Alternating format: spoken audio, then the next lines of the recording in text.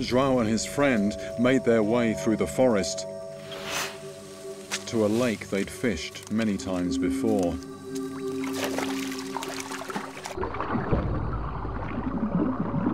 Já pegou muito, tem, pego muito peixe, muito.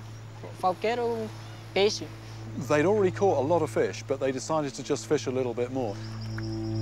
It was a decision that would prove fatal. Também. Joao is holding the net while his friend is actually paying it out.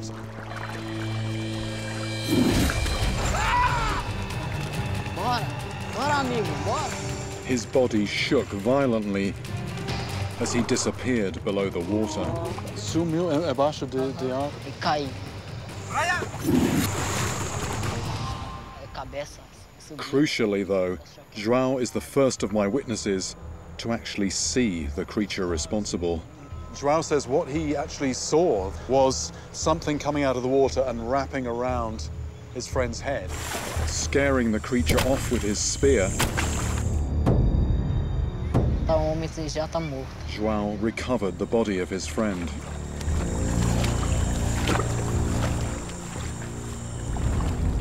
Esse animal, que, que foi que, que fez?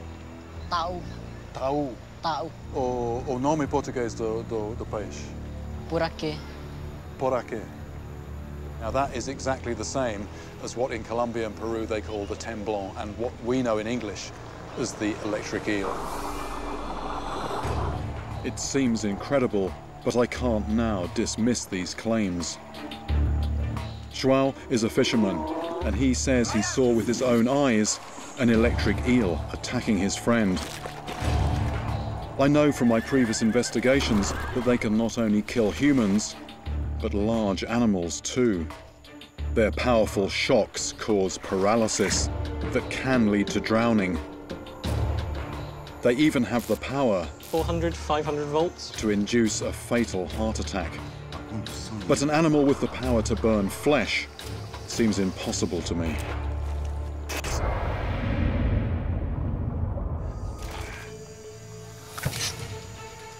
Eight? That's impressive. Its teeth It is huge. It is absolutely huge.